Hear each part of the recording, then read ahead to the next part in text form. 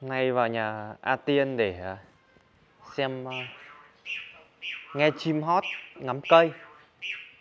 Con này là con gì anh Tiên? Cà kiễng à? Đây gọi là con cà kịa, à, con cà khịa đây đúng không? À. Đây có cây trà này, rất là nhiều loại hoa nan. Con con chim cu gáy à? Mũi trời ơi.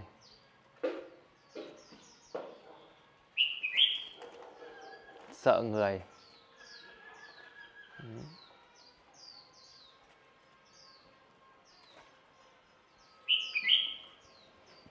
Nan rồi cây trà.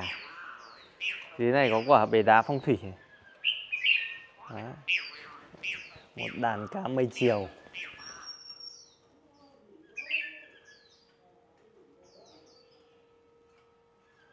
Rất là thư giãn.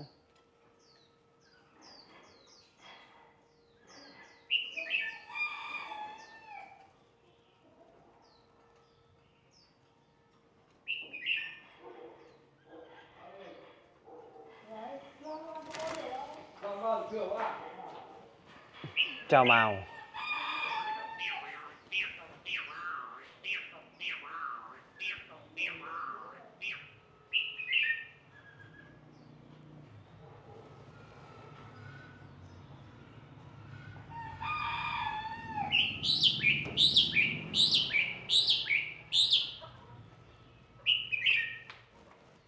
anh mới nợp chỗ này gì chứ hay là nâu rồi nhỉ? À.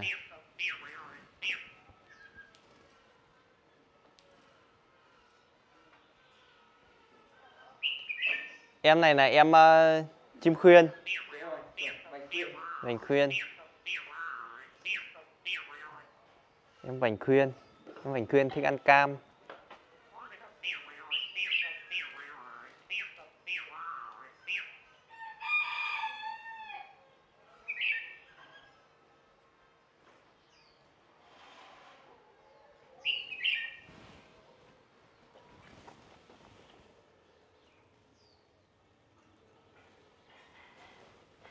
Nên là gốc sung này làm tí nem thì tụi ná luôn. Ừ. sung cảnh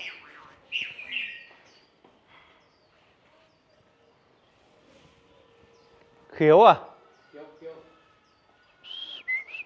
Nhà có khách nhà có khách. Quách, quách, quách. Quách. Nhà có khách nhà có khách.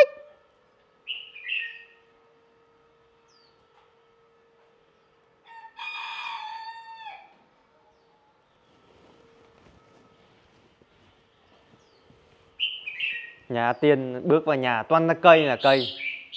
Rất là phong thủy.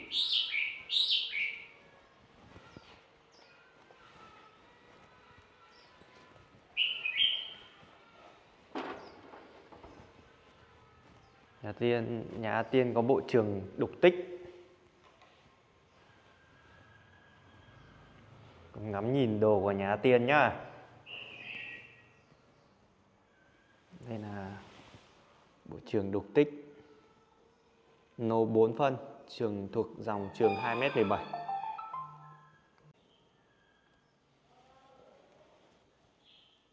bộ này bằng gỗ gụ mọi người ạ. Đục đục chạm nền như thế này. Mặt gỗ rất là vân. Gỗ gụ mật gia nai, tom thớ mịn như thế này. Đấy bộ này à, phải cuột qua một lớp dễ tre nữa thì nó rất là mượt mọi người nhé Đấy. mượt và bóng mịn luôn.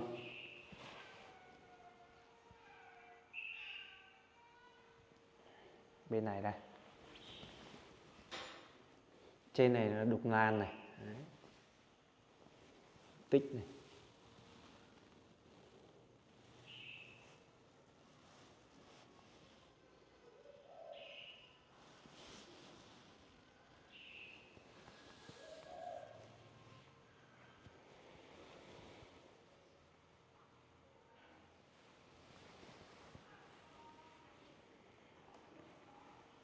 Trong này thì lại có một bộ trường Tam Sơn, đục trúc.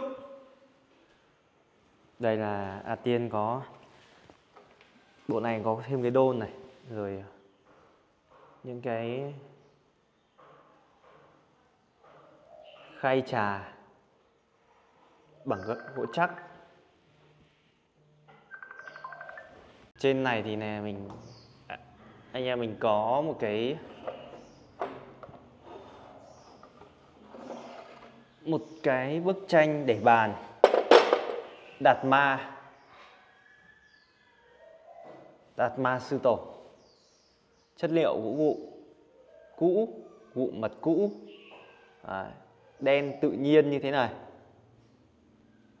Và xung quanh đạt ma này là đang có hình tượng đó là long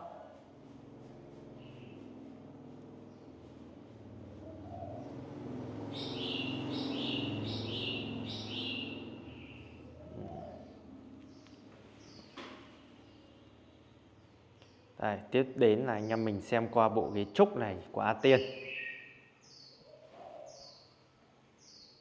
Bộ ghế trúc này là bộ trường Tam Sơn đục trúc mọi người nhé. Đây, bốn mặt được đục bốn mặt đều như nhau. Đó, khảm ốc vào những cái khảm điểm, những cái chữ thọ nồng vào với nhau như thế này khung đục trúc và đây là theo nhận định của mình thì đây là hàng đục tay mọi người nhé hàng đục tay. Khung trúc và trong lòng này là tùng, cúc, trúc, mai, đầy đủ cây bốn, cây tứ quý bốn mùa, xuân, hạ, thu, đông, thể hiện cho sự phồn phồn thịnh, no đủ, thịnh vượng. Đây, khả, chữ thọ bằng ốc. Chất liệu ốc rất là đẹp, đỏ, sáng màu.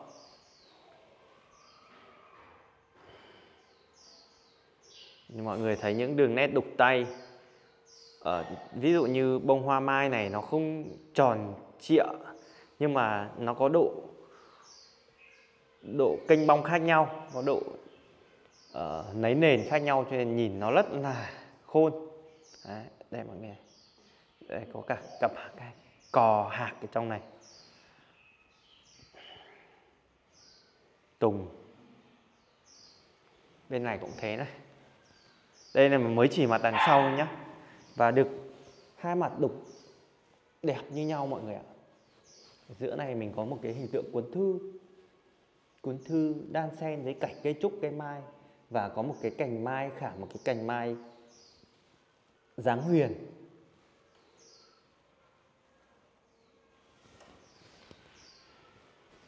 Đây. Đi vào từ phần bàn này Đó một cái ống trúc, ống luồng trúc rất là to, là dưới này là phần liễu, bàn. Đó. bộ này bằng chất liệu gỗ gụ ta. Đó. trúc rồi nho, rất là đẹp.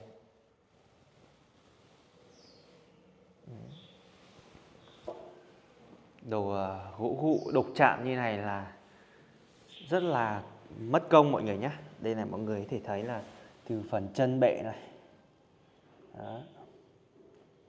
được đục một cái thân cây trúc lên. Trên cây trúc thì có con chim trích bông. À, gọi là trích trúc trích đó gọi là trúc trích là thường đi với những cái con trích bông.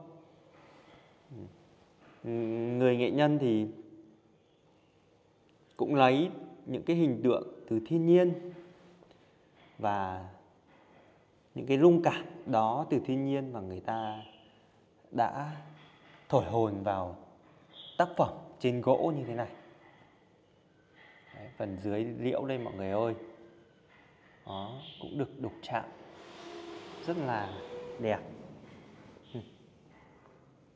Gỗ gụ ta nhìn chất gỗ rất sừng mọi người nhé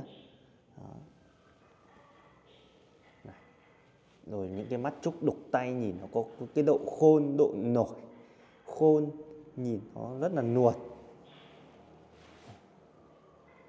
Đấy, mọi người nhìn này. Thực tế rất là thực tế cho mọi người nhé. Phần khung tay đi vào mình sẽ đi vào cái phần khung tay cho mọi người cùng chiêm ngưỡng. Đó. Đây là cái bộ sản phẩm của người chơi mọi người nhé anh chàng là ở quê hương mình và người ta mua về, người ta đặt lên để đặt cái sản phẩm này từ một cái anh thợ. Rất là là kỳ công. Đó. Ừ. Ừ, đấy, cho nên là rất là tâm huyết những cái người chơi như này người ta đặt rất là tâm huyết mọi người ạ. Rất là tâm huyết cực kỳ là tâm huyết.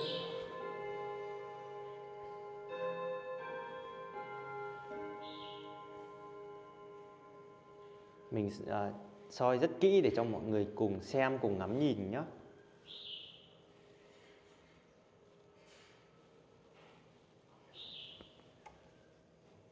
các bác xem qua video này còn kỹ hơn là các bác đi trực tiếp đi xem. Ừ, từng chút một. Kỹ hơn nhiều. Làm gì các bác đi xem mà các bác để ý được như mình. Mình là người uh, đã có kinh nghiệm xem đồ cho nên là khi mà xem đồ rất là chi tiết rất là tỉ mỉ. Đó. Bên này. Mặt gỗ này.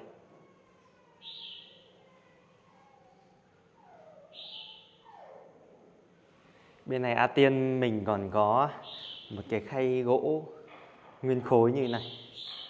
Đấy, trên này có bằng gỗ chắc có cái bộ ấm chén bằng gỗ chắc rồi có những cái hộp tăm được đục lấy những cái hình tượng chim chào mào từ thiên nhiên những cái lung cảm từ thiên nhiên và A Tiên đã nhờ một ông thợ đục lên như thế này. À, đục một cặp chim chào mào chim uyên ương chào gọi là không phải là uyên ương mà là một cặp uyên ương à, một cặp uyên ương chim chào mào đứng trên hốc núi hốc đá hốc cây như thế này. À, rất là hay. Biến cái một cái khúc gỗ vô chi vô giác để tạo thành một cái tác phẩm nghệ thuật mang tính nhất chất rất là tự nhiên. Tuy cái những cái nét đục nó không phải là những cái nét đục gọi là đục cho nó sắc nấy nó sắc nhưng nó, nó lại mang cái tính chất rất là tự nhiên thiên nhiên. À. chắc chắn là cái này không từ mẫu từ đâu à mà từ trong trí sáng tạo từ cái lung cảm của người nghệ nhân ra. Và tiếp theo thì mình lại có một bộ sập tủ cũng bằng chất liệu gỗ vụ mật và đã có thời gian. Và xuống mật như thế này. Và đây là chiếc sập ngũ phúc mọi người ạ. Sập ngũ phúc đục. Mọi người thể nhìn thấy những cái nét đục tay rất là khôn như thế này. Trên này là con ngũ phúc nổi cộm lên như thế này. Đục in nổi 3D như thế này. Đó. rồi những cái con ốc xoắn được đục rất là sắc nét lấy chân sạch sẽ, nhìn rất là trau chuốt đồ phải cực kỳ nuột nà thì khi quay nên nhìn nó mới nuột nà như này.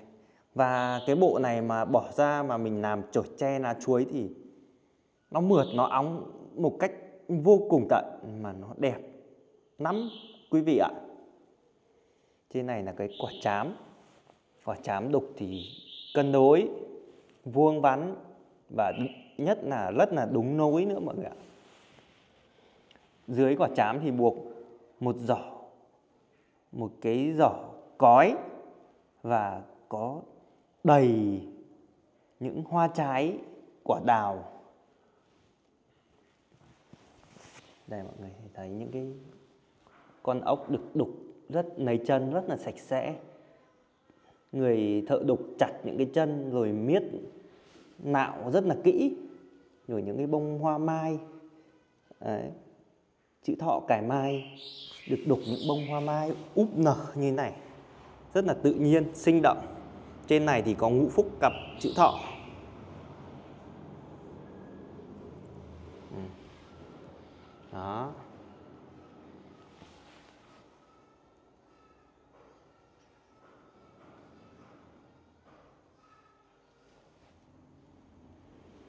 Bây giờ mình sẽ đi sang mặt hông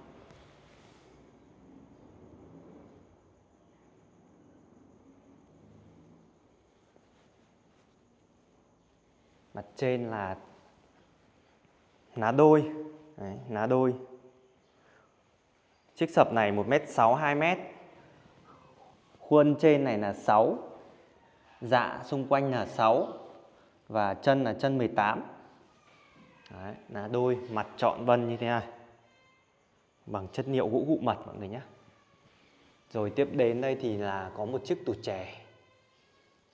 Cánh mai treo cũng bằng chất liệu gỗ cụ ta cũ cụ mật cũ. Đấy, những cái đường đục chạm chim chích rồi những con à, con vật rất là đẹp. Muôn thú đục con nào là con đấy nét rất là nét. Rồi những cái bông hoa úp mở như thế này. Đấy, bông hoa mai. Trúc mai sum vầy trúc mai là hình tượng của ngày tết và trúc mai mang ý nghĩa là một cặp thanh mai trúc mã. Đấy. Trúc là quân tử trúc là người đàn ông còn mai là người phụ nữ. Này, xung quanh đây còn có chữ thọ và rơi thể hiện cho rơi thì mang những cái điểm rất là may mắn gọi là ngũ phúc mang những cái chữ phúc này. Đấy, thả thả đến cho gia chủ. Những cái cặp chim chích rất là đẹp mọi người nhé. Đấy. ếch nhái đều có hết. Rồi trên này là cặp. Một bên là hồng. Một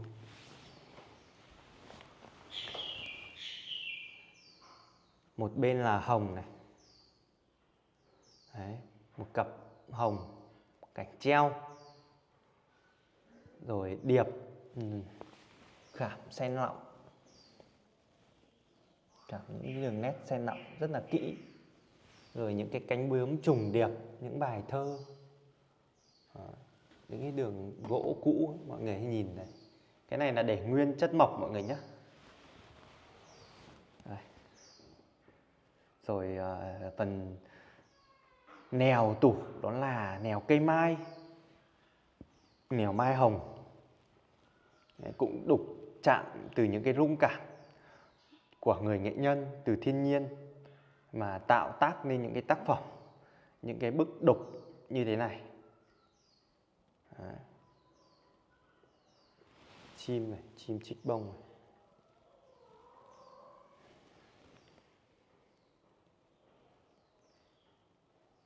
giữa này là một một độ một cành hồng cũng được tả vào rất là kỹ mọi người nhé.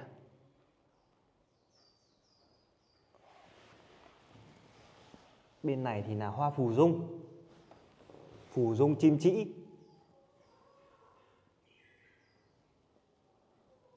cũng có một cặp uyên ương đây là một cặp trĩ thể hiện cho tình yêu đôi lứa và chất liệu khảm đây thì là những chất liệu ốc đỏ. Singapore, rất là đẹp.